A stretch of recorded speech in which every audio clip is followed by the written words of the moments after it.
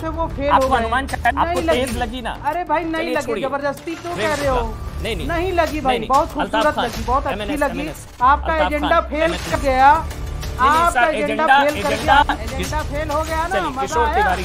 Agenda fail हो गया जी, जी, इस्तेमाल नहीं किया।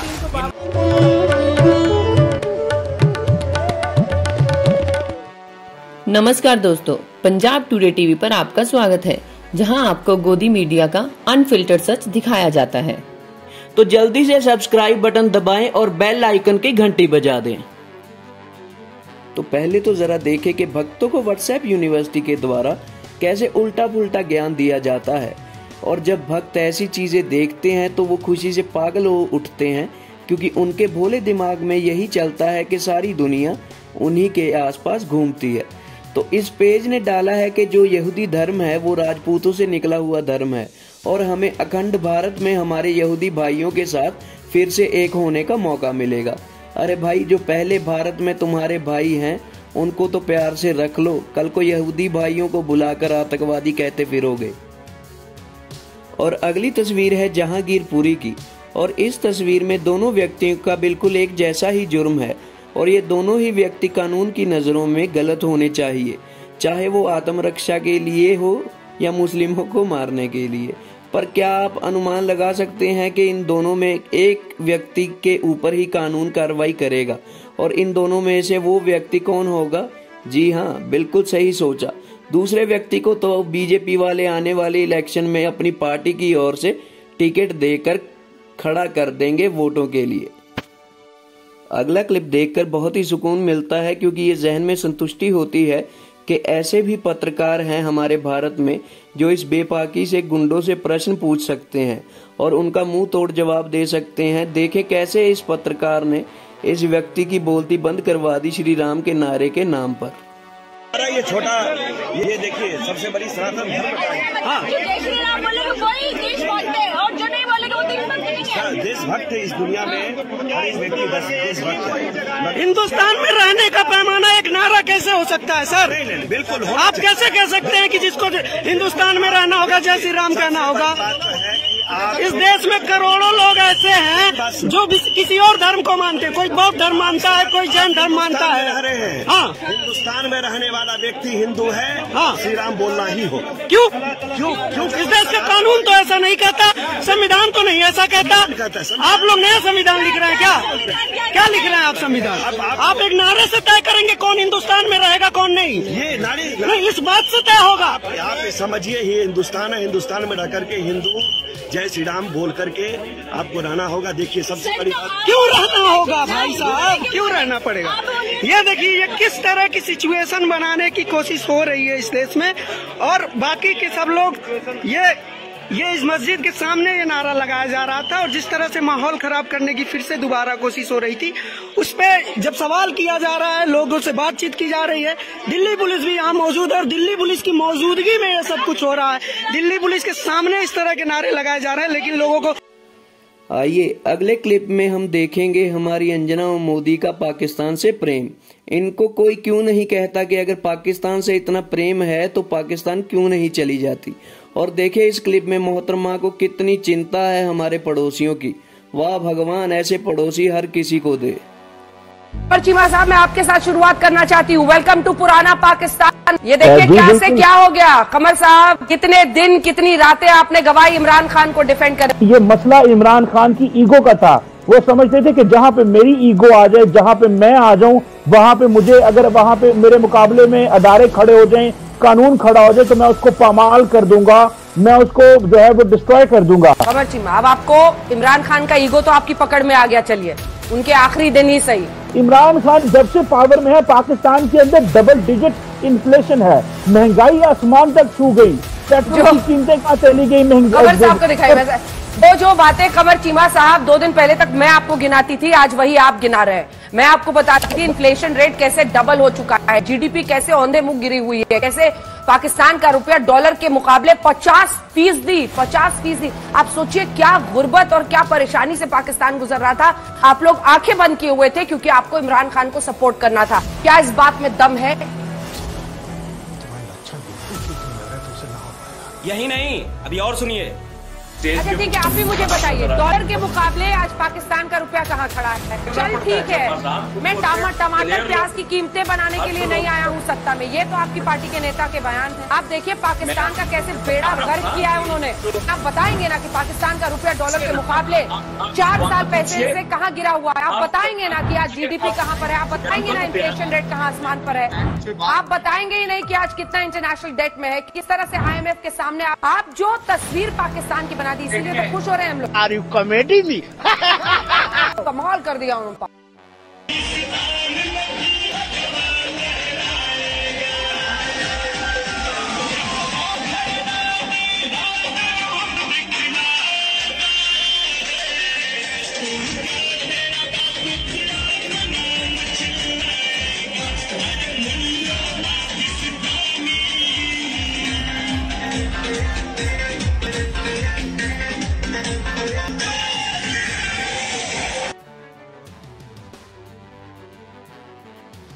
ये वीडियो जो आपने देखा, ये रुड़की का है। आप हमें इतनी सी बात बताएँ कि कौन सा भगवान कहता है कि आप मस्जिदों के सामने ऐसे शस्त्र लेकर जाएँ और ऐसी हरकतें करें। ये है वीडियो जहांगीरपुरी में जो शांतिपूर्ण जयंती का जुलूस निकाला जा रहा था। देखिए जरा कितने शांतिपूर्वक तरीके से हमारे संगी भाई और उनका साथ देता हुआ हमारा प्रशासन पथराव कर रहा है।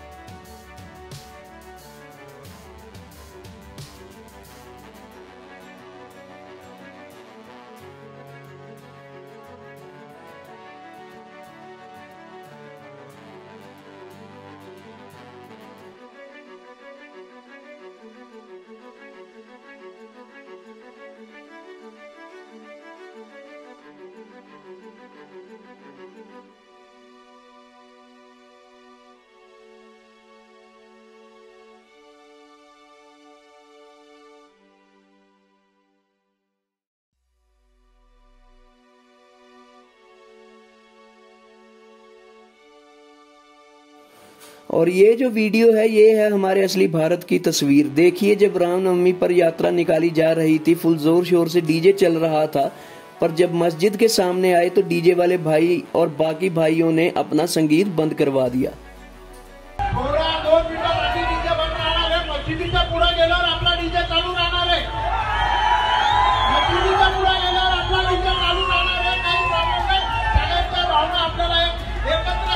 सर्व धर्म आपण मशिदीच्या पुढे गेल्यावर डीजे चालू. जय श्रीराम अगले क्लिप्स में हम थोड़ा देखेंगे कि असली पत्रकारिता क्या होती है। देखें कैसे रवीश कुमार हर उस व्यक्ति के मुख पर तमाचा मारते हैं जो एक समुदाय को टारगेट करने का प्रयास करता है और लाउड स्पीकरों की बात करता है। अच्छी खबर यह है कि समाज में शांति व्यापक हो चुकी है मुर्दा शांति। इतनी शांति पहले कभी नहीं महसूस की गई। पता ही नहीं चल रहा था कि समाज में लोग भी रहते हैं। भला हो उन नेताओं का जिन्होंने लाउडस्पीकर बजाने के धार्मिक अधिकार को लेकर जंग छेड़ दी। लाउडस्पीकर को लेकर दो धर्मों के बीच कंपटीशन पैदा कर दिया गया, जिससे लाउडस्पीकर भी धर्म के अस्तित्व का एक महत्वपूर्ण प्रतीक बनता जा रहा है। हर कोई अपने हिसाब से लाउडस्पीकर लगाना चाहता है। उन चौराहों पर भी, जहाँ पहले भी कई दशकों से लाउड स्पीकर लगते रहे हैं, प्रशासन की इजाज़त से और बजते रहे लोगों को याद दिलाया जा रहा है कि यहाँ लाउडस्पीकर उनके संघर्ष के बाद ही बजेगा। वो दिन दूर नहीं, जब देश का हर नागरिक अपना अपना लाउड स्पीकर लेकर चलेगा, जो लाउड स्पीकर का विरोध करेगा अपने अपने धर्म का विरोधी माना जाए। धर्म की रक्षा में जो युवा तलवार नहीं चला सकते, वे लाउड स्पीकर बांधने का काम तो कर ही सकते। हम विश्व गुरु बनने की राह पर हैं जब दिखाने से नहीं दिख रहा है तो क्यों ना ऐसा दिखाया जाए जिसमें कुछ दिखे ही ना। उस असीम शक्ति की कृपा आप पर भी बरसे, जिसने सड़कों पर भीड़ छोड़ रखी है, जिसके निर्देशों के पालन में भीड़ की शक्ति असीम हो गई है। हर दूसरा आदमी मुझे सलाह देता है कि न्यूज़ से दूर रहो, सरकार से सवाल पूछना बंद कर दो, किसी को फ़र्क नहीं पड़ता। जो होना है होकर रहेगा। इस देश में हिंदू, मुस्लिम का सिलेबस बंद नहीं होने वाला यह सिलेबस मोहल्लों में हिंदी मीडियम लड़कों को टॉपर बना रहा है। ये एंकर, तुम समय नहीं हो, बल्कि तुम इस समय में असमय हो। अगर तुम्हारे शहर में समंदर का किनारा नहीं तो इस देश में समंदर के किनारों की कमी नहीं। वहाँ जाकर विश्राम करो, लाइफ का लुत्फ उठाओ, स्वामी बन जाओ। हमारा मज़ा। जरा भी तो देखें कि हम सब शैतान कौन पैदा हो गया। अगले क्लिप में देखेंगे हम जब शोएब जमाई ने चलती डिबेट को छोड़ने का बेहतरीन फैसला लिया। और ऐसे गोदी चाटुकारों के मुँह पर ये कसकर तमाचा है कि कोई मुस्लिम व्यक्ति इनकी डिबेट में ना जाए और ये अपनी बेइज्जती खुद ही करवाते रहेंगे।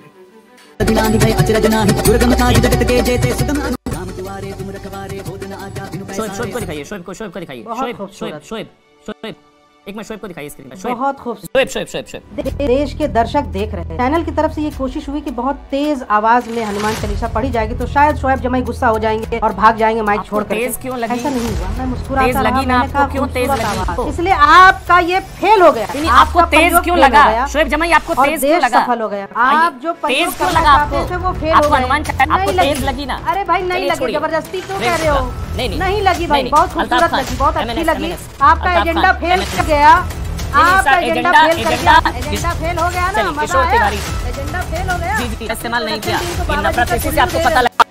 अमन भाई शोएब भाई से मेरा एक सवाल है। शोएब भाई आप ट्रेन पकड़ने के लिए स्टेशन और फ़्लाइट पकड़ने के लिए एयरपोर्ट ऐसे समय पर पहुँच जाते हो? ट्रेन का इंजन ट्रेन का ड्राइवर और फ़्लाइट का पायलट आपको फ़ोन करके नहीं बुलाता। इसका जवाब पूरे देश के सामने दीजिए। रिजवान साहब को मेरा नाम लिए बगैर उनका डेट पूरा नहीं होता। अरे हमको क्यों पकड़ते हो? रमज़ान का टाइम नाम ले रहा हूँ बड़ी इज़्ज़त दे रहा हूँ। नाम देखो एक अमन जी इसमें जरा दो मिनट हमें देना अन अनइंटरप्टेड में एक देखो जब कर्नाटक में कैसे पकड़ते हो? फ़्लाइट कैसे पकड़ते हो? ये बताओ। नहीं नहीं नहीं सवाल मेरा था। ना ना ना ना सवाल मेरा था। ट्रेन और फ़्लाइट कैसे पकड़ते हो? ये बताओ। मैं आपके सवाल को रिजेक्ट करता हूँ। नहीं दूँगा जवाब। हो गया?